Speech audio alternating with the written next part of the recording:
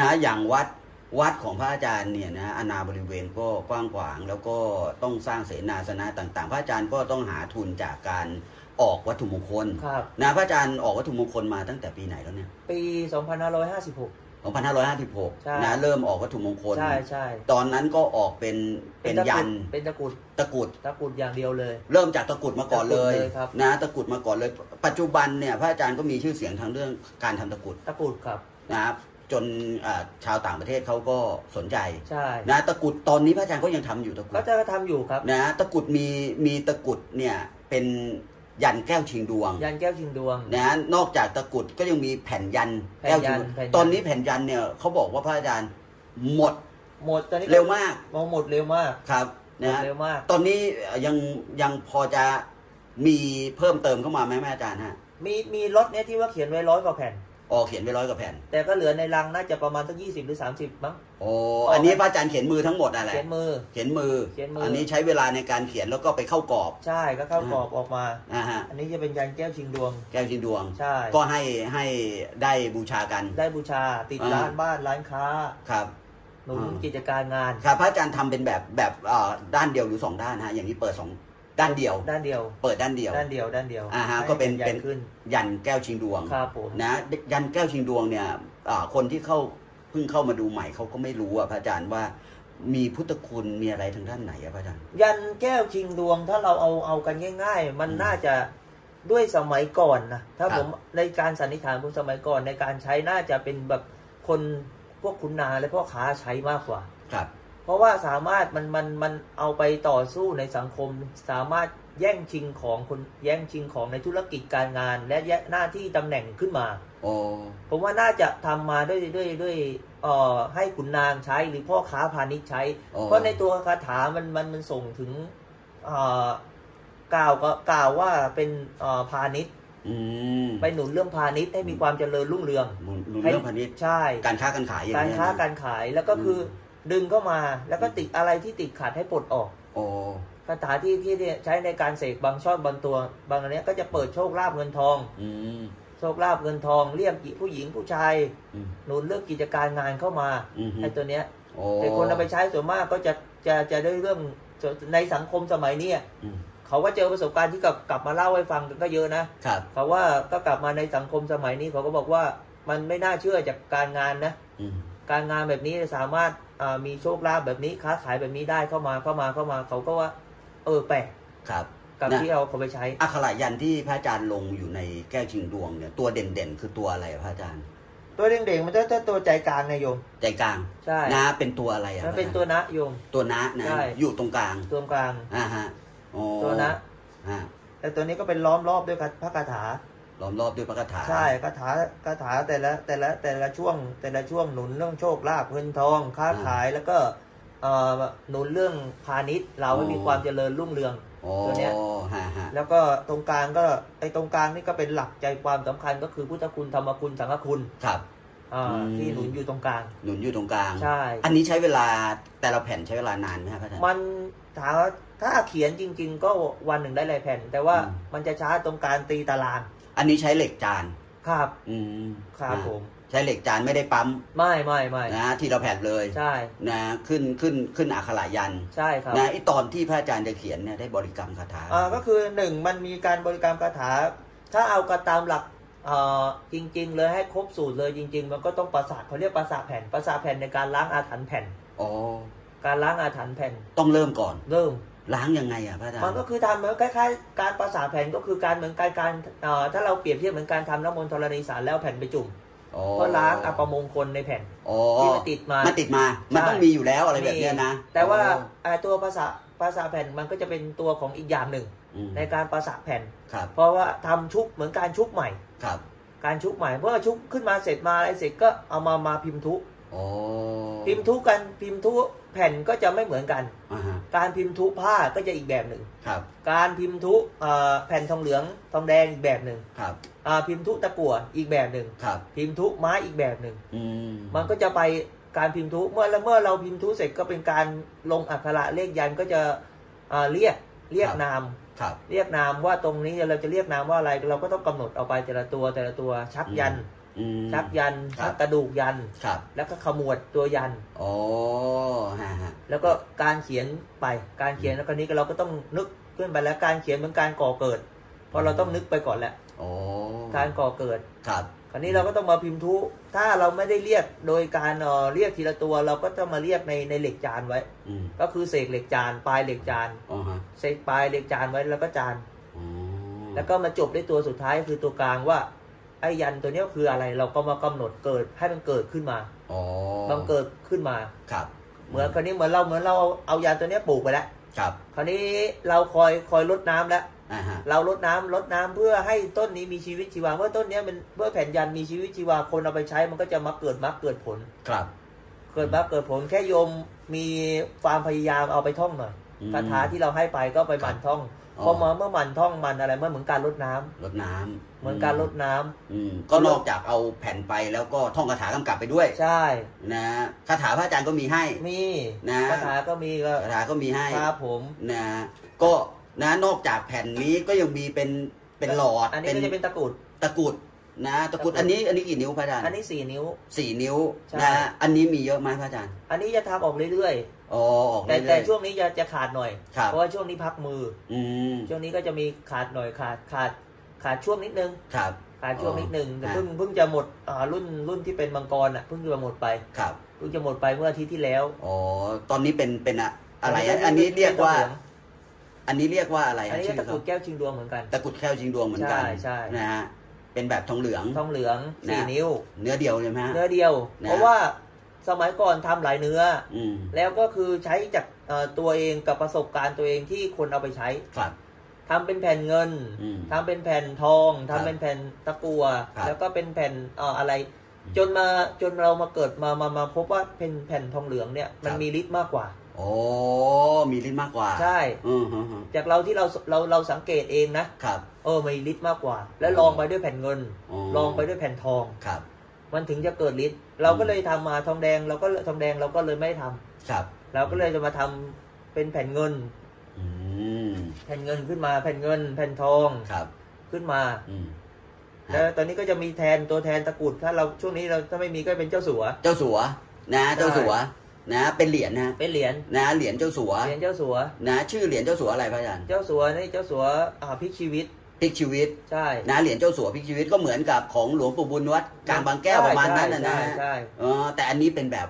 เป็นแบบเหรียญเป็นเหรียญปั๊มเหรียญปั๊มเหรียญปั๊มอย่างบางบางเลยนะบางพระอาจารย์นะเพื่อเออเพื่อการพกสะดวกเออและอักขระเลขยันข้างหลังเป็นแก้วชิงดวง แก้วชิงดวงใช่นะอันนี้ก็ใช้แทนตะตะกรุดได้ใช้แทนตะกรุดแล้วได้ชื่อก็ดีดีเหรียญเจ้าสัวเหรียญเจ้าสัว จริง ๆ สมัยเมื่อก่อนเขาเรียกว่าซุ้มกระจังใช่ครับนะของหลวงปู่บุญวัดกลางใช่บางแก้วใช่นะก็ตำราในในสายของวัดกลางบางแก้วครับผมอันนี้พระอาจารย์ก็มาสร้างด้วยเนื้อเดียวนะพระอาจารย์เนื้อเดียวเนื้อเพเดีราะยวว่า เอ่อทำเนื้อเงินมาก็หมดไปแล้ว หมดไปแล้วก็เรือตัวเนี้ยเรือตัวเนี้ยตอนนี้ได้ความรับนิยมมากที่สุด อ๋อเหรียญเจ้าสัวใช่ นะเหรียญเจ้าสัวเหรียญซุ้มกระจัง ที่ทำตอนนี้ไว้ก็ก็อ่าบูชาได้ บูชาได้เลย เพราะว่าอ่าทำไว้สำรองสำหรับครับว่าบางคนเอาไปตะกรุดไปห้อยบอกมันยาว ครับก็เลยบอกเอาเอาตัวนี้อ๋อเอาตัวนี้เพราะยันมียันต์ตัวเดียวกัน อ๋อแล้วก็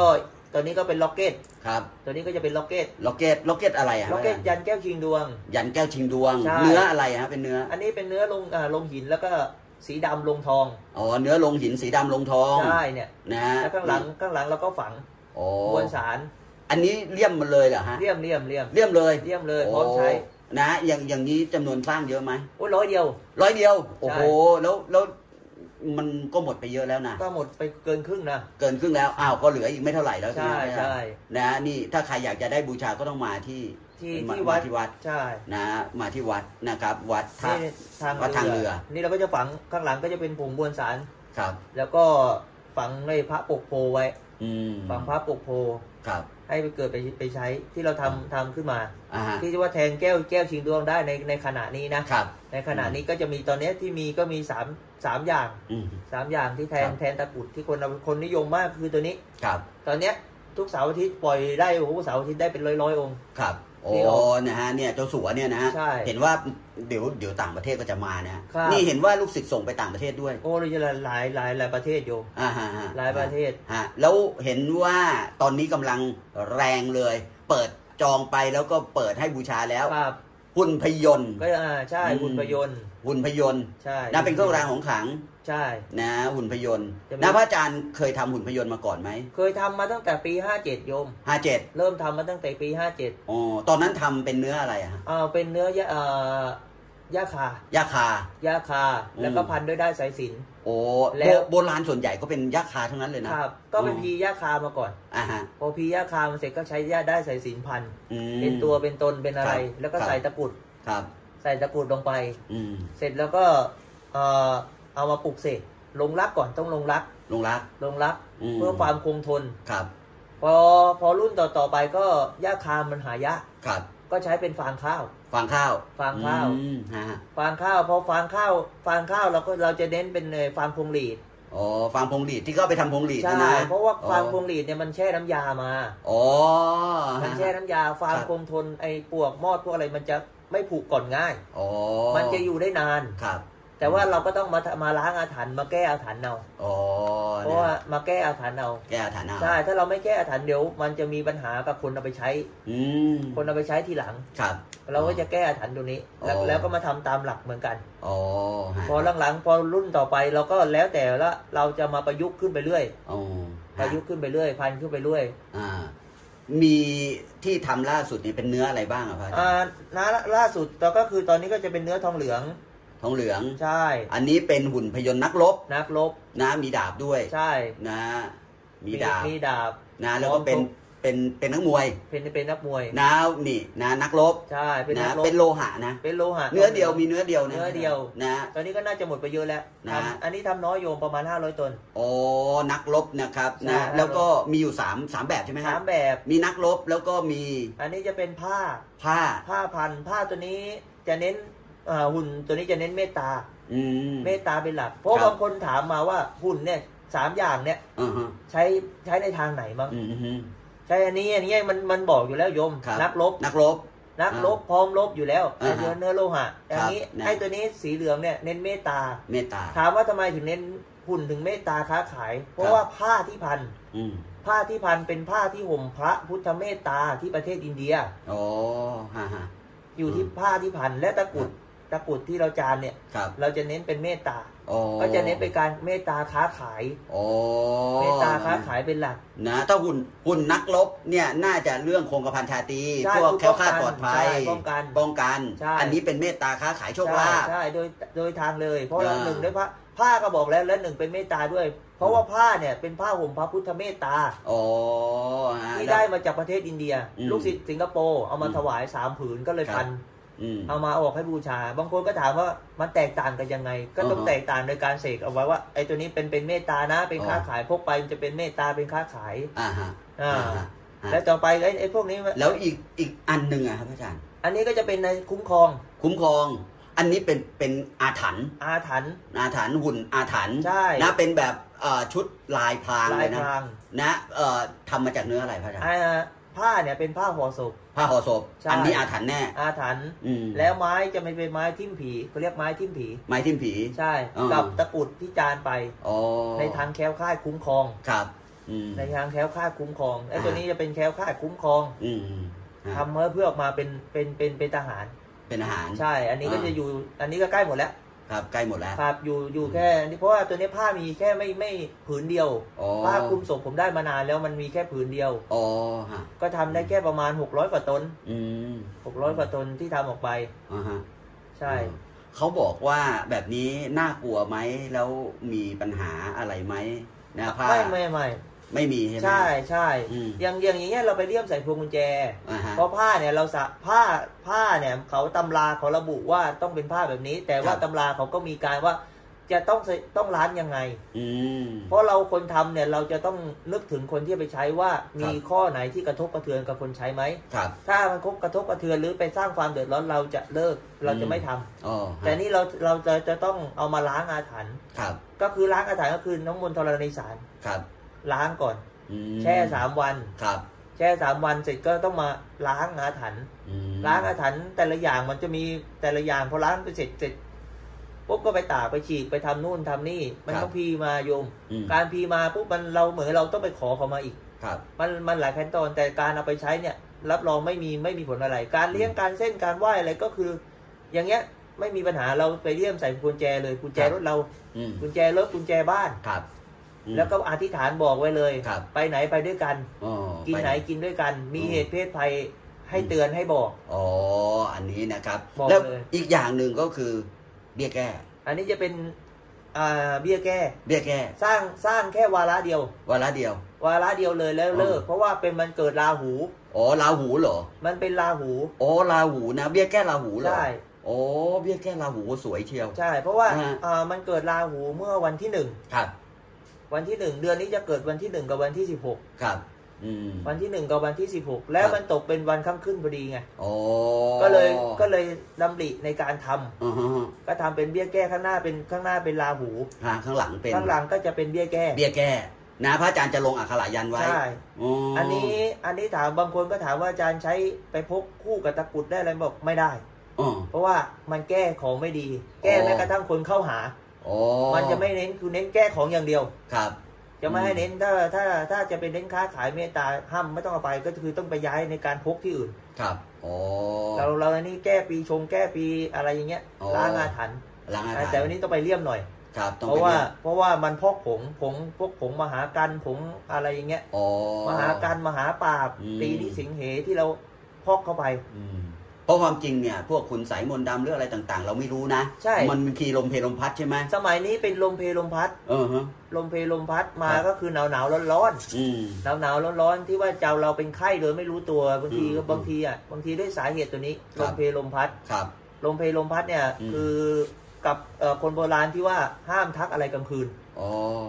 สมัยนี้จะมีค่านิยมก็คือพอได้ยินเสียงอะไรเฮ้ยอะไรวะอ่าอ่าอ่าอะไรวะจริงอ่าๆเขาห้ามทักกลางคืน ก็ห้ามชักกลางคืนเพราะว่ากลางคืนเนี่ย เขาจะปล่อยอ๋อเขาจะปล่อยของมายิ่งวันโกนวันพระห้ามทักเด็ดขาดอ่าอ่ถ้าไปอยู่แถวบุรีรัมย์สุรินทร์อ่าศรีสะเกดเนี่ยโยม ไปอยู่นั่นนะกลางเขาจะบอกเลยกลางคืนนี่ห้ามออกจากบ้านเลยนะอ่าฮะฮะห้ามออกจากบ้านเลยนะ ห้ามออกอ่าจากบ้านหรือว่าห้ามได้ยินเสียงอะไรต้องนิ่งไว้เลยอ่าอ่าเพราะว่าเป็นเป็นการปล่อยของปล่อยของใช่นะคุณสายมนต์ดำอะไรแบบใช่นี้นะ ตามความเชื่อ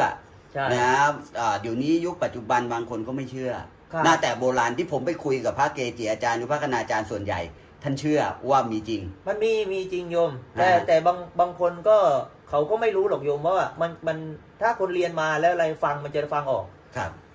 มันอืมันฟังออกว่าไอ้ตัวนี้เฮ้ยนี่คือคุณใสยอืมอันนี้ไม่ใช่ลมพัดปกติครับ สมัยก่อนมันมันคุณใสยฟ้าผ่าตรงไหนคือมีสมัยก่อนเนี่ยถ้าฟ้าผ่าตรงไหนเนี่ยอ๋อนั่นแหละคือคือสมัยก่อน คนโบราณจะเอาคุณใสยไปฝังไว้ตรงนั้นอ๋อแล้วเขาก็จะใช้อสุนี ฟ้าก็จะผ่าลงตรงนั้นอ๋อเพื่อล้างอาถรรพ์อืมคนก็ว่าก็มีค่านิยมว่า เอา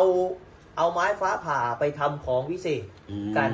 ครับว่ามีมีก็จะใช้ตรงนั้นไงครับ คนโบราณว่าปุ๊บจะเจอกันบ่อย แล้วตรงไหนสิ่งตรงไหนที่ว่าที่นาหรือตรงไหนเนี่ยที่มันมีอาถรรพ์ใช่ไหมครับ มีอาถรรพ์หรืออะไรอย่างเงี้ยเขาก็จะฟ้ามันก็จะลงตรงนั้น โอ้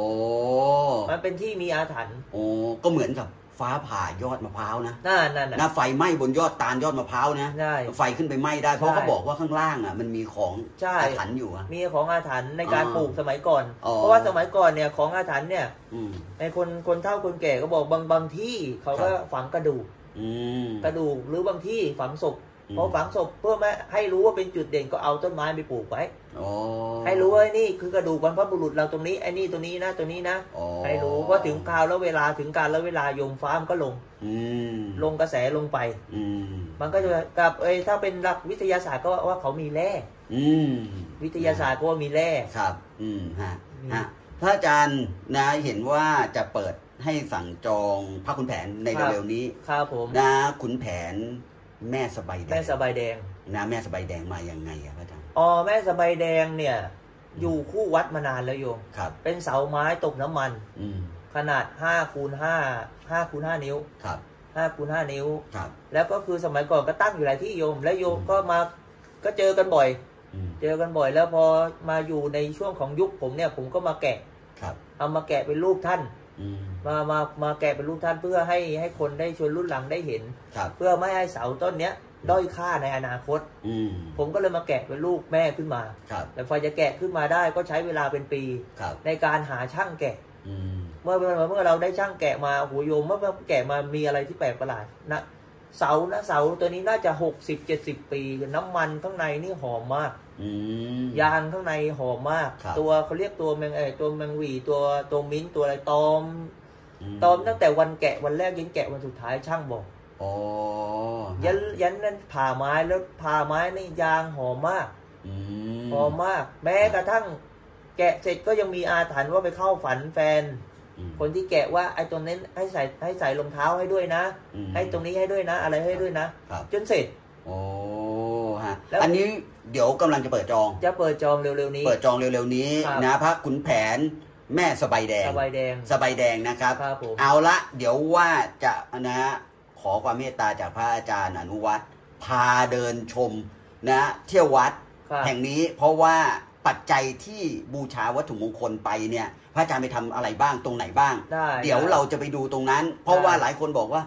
เอาไปทำอะไรเงินใช่ใช่เพนะราะว่าฮะมาเพราะว่าตั้งแต่ถ่าย ถ้าถ่ายทอดสดมานี่น่าจะเออประมาณสี่เดือนห้าเดือนนี่ออกครัแต่บวัตถุมงคลอย่างเดียวครับแล้วก็คุยทั่วไปไม่เห็นว่าเอ้ยเงินเอาไปทำอะไรกัน นั่นนะสิรวบรวมกันไว้ไปทำอะไร อ่าฮะเดี๋ยวไปดูอันนี้ก็ไปดูนะพระอาจารย์ทำเมนแล้วทำเมนทำเมนแล้วก็บูรณะเสนาสนะภายในวัดใช่นะใช่เดี๋ยวตามไปดูครับพระอาจารย์ฮะ